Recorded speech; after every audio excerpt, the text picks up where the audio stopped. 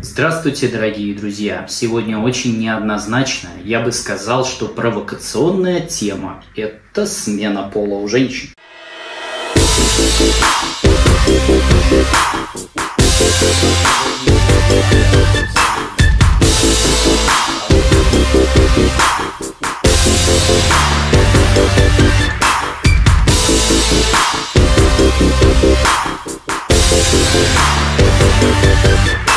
Дорогие друзья, так как на этом канале мы стали очень много говорить об использовании тестостерона и его различных производных, то бишь анаболических стероидов, сложно не затронуть тему, для которой специализированно, в общем, можно сказать сейчас, во всех странах мира используют данный препарат. А в общем-то для условной такой смены пола у женщин. А, с чем это связано? Почему условный? Ну, мы понимаем, что половые органы у нас, у таких пациенток, конечно же, не вырастут. Но, но, однако, мы можем добиться значительных визуальных изменений. То есть это уменьшение молочных желез, или бывает даже операционным путем они удаляются. Я лично все-таки за удаление. Если уже непосредственно решено менять конкретно пол, просто по той причине, что при использовании больших дозировок тестостерона, а здесь все-таки ну, большие относительно женщин дозировки тестостерона используются, да, и при таких колоссальных модификациях организма и метаболизма все-таки лучше исключить любые намеки на онкологические события.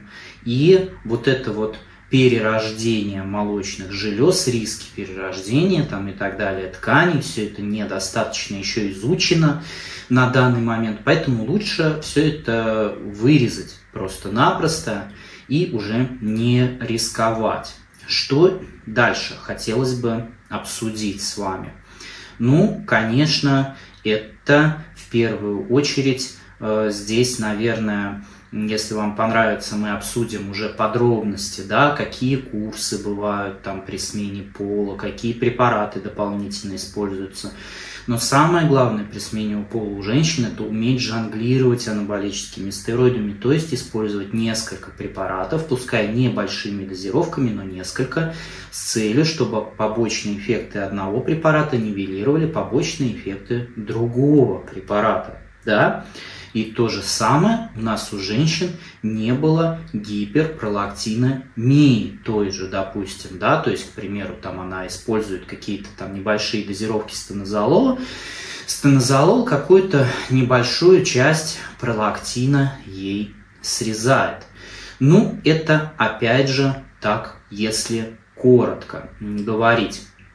Вот, если говорить подробно, да, в чем основной все-таки плюс на мой взгляд, гормонального подхода к смене пола. Есть и, конечно, операционная смена пола.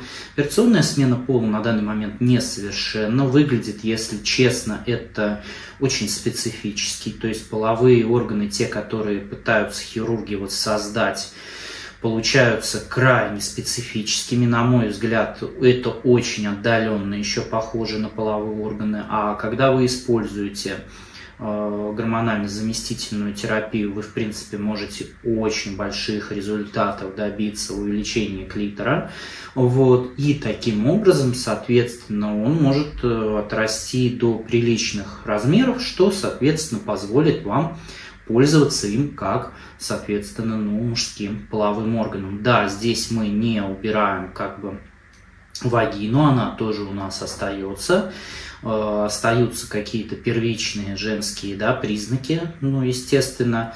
Вот, полностью мы их не уберем в плане гениталий, но, но, а, во-первых, вы не рискуете умереть на этой операции, да, по смене гениталий.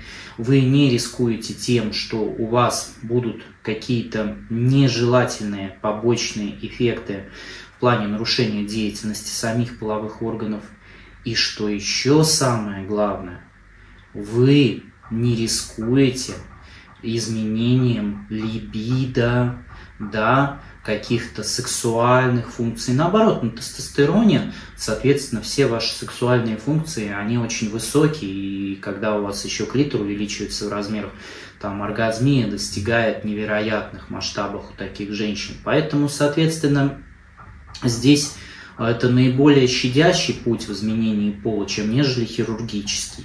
И иногда даже, когда у нас встречаются да, вот эти случаи, когда люди говорят, а я все-таки передумал, да, или передумала менять пол, и мы можем вернуть, мы можем вернуть эти, соответственно, события назад. То есть мы можем все-таки, да, там, допустим, какие-то поставить женщине импланты, к примеру, ну, клитор так и останется, вы с ним ничего не сделаете, но тем не менее, даже функции яичников, ее можно как-то поддерживать более-менее живой, ну и нужно, естественно, да, для полноценного функционирования организма он не будет полностью функционировать как мужской, потому что, ну, соответственно, он изначально э, с другой, да, с женскими хромосомами, женской генетикой, поэтому это только визуальные изменения, те, которыми вы подвержены.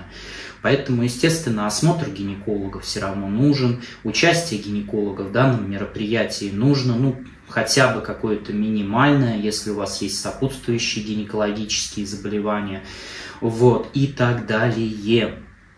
Вот, но тем не менее, тем не менее, это, повторюсь еще раз, гораздо меньшие риски в плане, соответственно, оперативного вмешательства. Дорогие друзья, теперь, когда мы обсудили смену пола вот так коротко у женщин, я хочу, чтобы вы в комментариях написали, как вы вообще к этому относитесь вот, очень интересно ваше мнение, соответственно, можно ли вот, ну, то есть сейчас идут споры, у нас как бы в России не запрещено женщинам менять пол, но идут разговоры о том, что нужно запретить, что это не этично, не морально, что это психиатрическое заболевание. На данный момент, согласно МКБ-11, соответственно, трансгендерность, она не является и транссексуализм там у женщин то же самое, не только, да, касается этого там Таиланда и тайских мужчин, так скажем. Вот, то есть, соответственно, это все касается и женщин тоже в любой стране.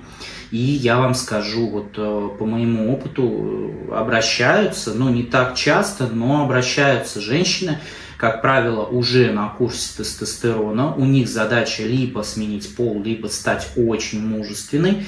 И с целью, да, то есть э, быть вот э, ближе, как бы, да, к мужскому, да, такому состоянию. Поэтому Напишите мне, пожалуйста, как вы к этому ко всему относитесь. Тема очень неоднозначная.